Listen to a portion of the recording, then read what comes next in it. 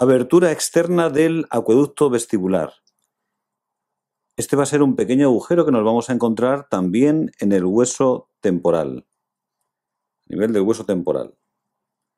A través de esa abertura externa del acueducto vestibular, vamos a ver que va a pasar un conducto, va a pasar un conducto, un conducto endolinfático.